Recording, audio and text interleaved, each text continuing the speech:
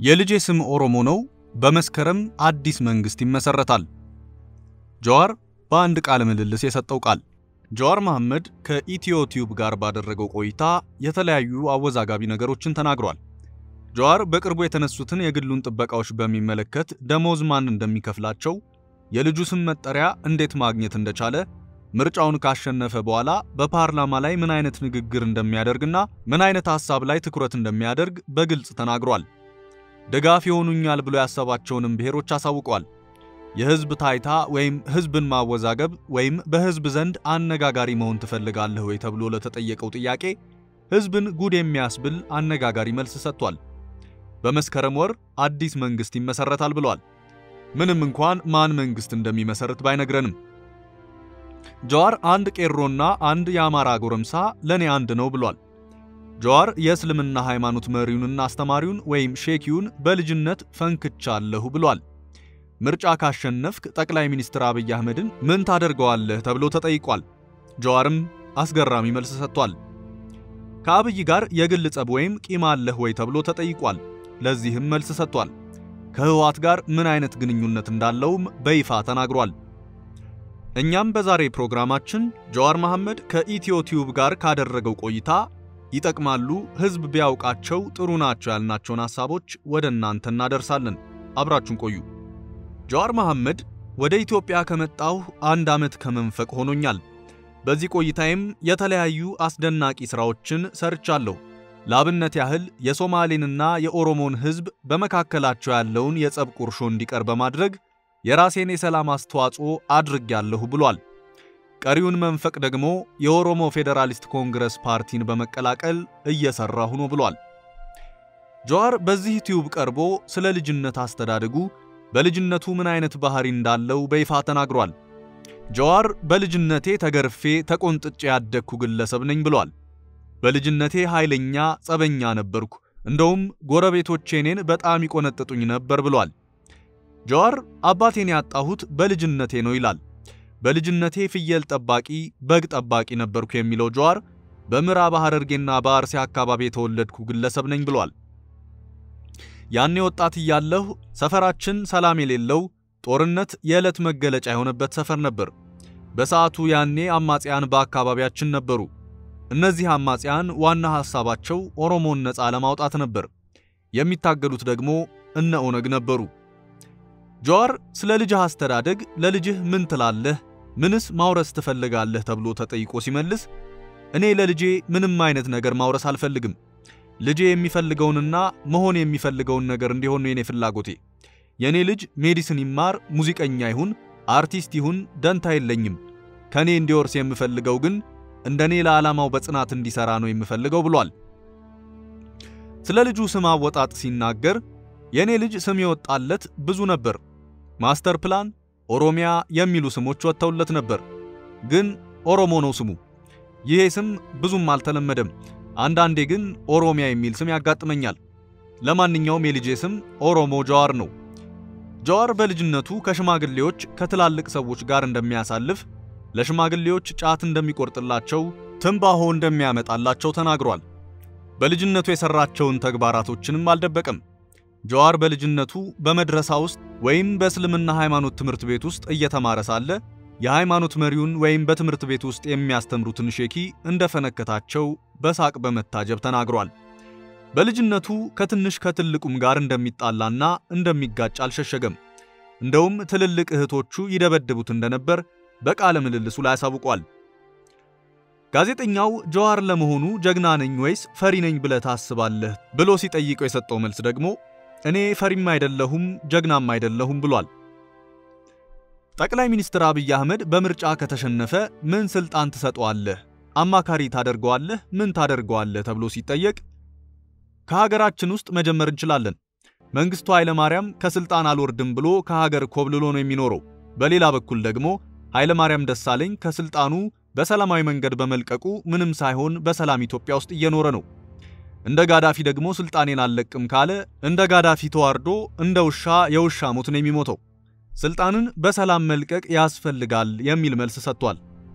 ጀዋር እንደ ድሮ ፓርላማ የሚያንቀላፋበት ጊዜ የለም። ህዝቡ የመረጠው ፓርላማ በትጋት መስራት አለበት፣ የሚሰራበት ጊዜ እየቀረበ ነው ብሏል። እኔ ጥሩ ስትራቴጂስት ነኝ፣ ስትራቴጂ በመፍጠር ጎበዝ ነኝ። ለዚህች ሀገር ቢያንስም ጥሩ አስተዋጽኦ አድርጌያለሁ፣ ለለውጡ ጥሩ ሥራ ሰርቻለሁ ብሏል። ጀዋር እኔ ምርጫ ላይ ካሸነፍኩ እኔም ሆንኩ ሌላ የኦፌኮ አባል መጀመሪያ ፓርላማ ላይ የምናደርገው ንግግር የፖለቲካ ልሂቃኖችን ኑ እንደራደር፣ ለሀገራችን ጠቃሚ የሆነ ዲሞክራሲ መሰረት እንጣል፣ ምን አይነት ህግ፣ ምን አይነት ፖሊሲ እንቅረጽ፣ እንግባ የሚል ጥያቄ አቀርባለሁ ብሏል። ብዙ ሰዎች አንተን ከጥፋት ኃይል ጋር ያያይዙሃል፣ በዋናነት ግን ከህወሓት ጋር ያያይዙሃል። እንደውም አንደኛው የኦፌኮ አባልህ ህወሓት የኛ ባለውለታ ነው ብሎ ተናግሯል። ይሄ ደግሞ ብዙ ሰዎችን ያስቆጣ ንግግር ነበር። ስለዚህ ጉዳይ ምን ትላለህ? ይህ የጋዜጠኛው ጥያቄ ነበር። ጀዋር ሲመልስ አሃ አሃ ማን ነው እንደዚህ ያለው? ጋዜጠኛው ጠየቀ። ይሄ በአደባባይ የተነገረ ነገር ነው፣ በሪከርድ የተቀመጠ ነገር ነው። አቶ በቀለ ገርባ ናቸው ይህን የተናገሩት። ይህን ንግግር እኔ አልሰማውም፣ ግን እኔ ከሶስት ዓመት በፊት ከግብፅ ብር በጆንያ ተቀብሏል ተብዬ በሽብርተኛ የተፈረጅኩ ነበርኩ። አሁን ደግሞ የህወሓት ጓደኛ አድርገውኛል። ህወሓት ከኦሮሞ ህዝብ፣ ህወሓት ከኦሮሞ መሪዎች ጋር ጠላት ነበሩ። ህወሓት ላለፉት ዓመታት ቀያችን ድረስ መጥተው ሲያንገላቱን፣ ሲዘርፉን ነበር። አሁን ግን ህወሓት የኦሮሞ ጠላትም ወዳጅም አይደለም። በአሁኑ ጊዜ ለኦሮሞ ይጠቅማሉ ብዬም አላስብም። ግን ገና ያላወራረድ ነው ሂሳብ አለ። ህወሓትን እኛ አልደረስንበትም፣ እነሱ ናቸው የደረሱብን። ህወሓት መጨረሻ ላይ በእኔና በቄሮ ኃይል ተሸነፈ። ከተሸነፈ ኃይል ጋር መታገል የለብህም፣ በቃ ተሸንፏል። ህወሓት 27 ዓመት ሙሉ ፌዴራሊዝም እንዳይሰራ ያደረገ አካል ነው። ህወሓት አሁን ከመንግስት ጋር የሚያደርጉት ግብግብ ጥሩ አይደለም። በአንድ በኩል ህወሓት እኛ አስተምረን አብይ እንዴት እንደዚህ ያደርጋል ይላሉ። እኔ ስልክህ ለምን አትላክም ይላሉ። የአብይ መንግስት ደግሞ እኔ መሪ ነኝ ለምን አትገዙም፣ ለምን አትላኩም የሚል እሰጥ አገባ ውስጥ ገብተዋል። ይሄ ደግሞ የፋራ ፖለቲካ ነው። ፖለቲካ እንደዚህ አይደለም። በጣም ነው የሚያስቀኝ። ከአብይ ጋር ቂም አለህ? እኔ በማንም ላይ ቂም የለኝም። አብይን ገና ስልጣን ከመያዙ በፊት አስተሳሰቡን እቃወመው ነበር። በሂደት ግን እኔ የተሸነፍኩ ደጋፊ ሆንኩ። ቀጥዬ ደግሞ በስራው አብይ እኔ እንዳሰብኩት እኔ እንደተቃወምኩት ሆኖ እየመጣ ሄደ። አብይ የአህዳዊ መንግስት አቀንቃኝ ሆነ። መጀመሪያ የአብይ ተቃዋሚ ነበርኩ፣ ቀጥዬ ደጋፊ ሆንኩ፣ ቀጥዬ ደግሞ ተቃዋሚ ሆንኩ። መጀመሪያ መሪ ሊሆን አይችልም የሚል እምነት አለኝ። አብይ በግለሰብ ደረጃ ከኔ ጋር ጓደኛ ነው። አስተሳሰቡ አይመቸኝም። መሪውን ይዞ መምራት አልቻለም። ኦኤምን ፖለቲካ ከገባህ በኋላ በግርማ ጉተማ እየተመራ ነው። እስኪ ስለዚህ ጉዳይ ንገረን የሚለው ቀጣዩ ለጀዋር የቀረበለት ጥያቄ ነበር። ውጭ ሀገር እያለን ከትርፍ ነፃ የሆነ NGO ነበር። አሁን ግን ህዝብ ገንዘብ ስላዋጣ ድርጅቱ የ share ሆኗል። የህዝብ ንብረት ሊሆንም ነበር፣ ግን ጊዜ አላገኘንም ይሄን ለማድረግ። ለጊዜው የጋራ ወይም የ share ድርጅት ሆኗል። በኦሮሞ ነፃነት ታምናለህ ወይ ተብሎ ለተጠየቀው ጥያቄ ደግሞ ይሄ የህዝብ ምርጫ ነው፣ እንደዚህ ነው ልል አልችልም። እንደኔ ሐሳብ ሁሉንም የሚያቅፍ የኦሮሞን ቋንቋ ባህል የሚያሳድግ ፖለቲካ ከፈጠርን መለያየቱ አያስፈልግም። ህዝቡ መለያየት የሚፈልገው ጭቆና ካለ፣ ፍትሃዊነት ከሌለ ነው። ኦሮሞ ፈጣሪ የሰጠው የተፈጥሮ ሀብት አለው፣ ወንዝ አለው፣ መሬት አለው እና ይሄን ንብረቱን በአግባቡ መጠቀም ነው የሚፈልገው። እኔ ብዙ ሀገሮችን ዞሬ ተመልክቻለሁ። አህዳዊ መንግስት ምን እንደሆነ አውቃለሁ። ፌዴራሊዝምን አውቃለሁ እና ለሀገራችን ፌዴራሊዝም ነው የሚያስፈልጋት ብዬ ነው የማስበው። ጀዋር ብዙ ጊዜ አወዛጋቢነቱን ይፈልገዋል ትባላለህ።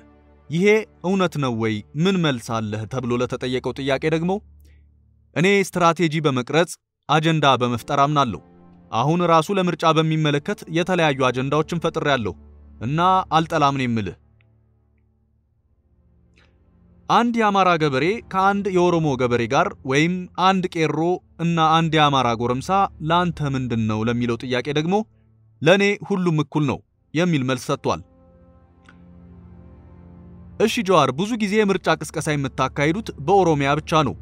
ይሄ ምርጫውን ለማሸነፍ በቂ ነው ብለህ ታስባለህ ወይ ተብሎ ለተጠየቀው ደግሞ በመጀመሪያ ከአካባቢያችን እንጀምር በማለት ነው እንጂ በተለያዩ አካባቢዎች ደጋፊዎች አሉን። በተለይ ሲዳማና ደቡብ አካባቢ ድጋፍ አናጣም ብሏል። ለጀዋር የቀረበለት የመጨረሻ ጥያቄ ታለቅሳለህ ወይ የሚል ነበር። ጀዋርም ሲመልስ በልጅነቴ ግጥም ገጣሚ ነበርኩ፣ አልቃሻ ነበርኩ። እኔ የሰው ልጅ ስቃይ ጠላለሁ እና የሰው ስቃይ የልጆች ስቃይ ያስለቅሰኝ ነበር እና ብቻዬን የማለቅሰው። በስተመጨረሻም ጠያቂው ብዙ ጊዜ ስለሰጠኸኝ አመሰግናለሁ፣ ለምርጫውም መልካም ዕድል እመኛለሁ በማለት ተሰናብቷል።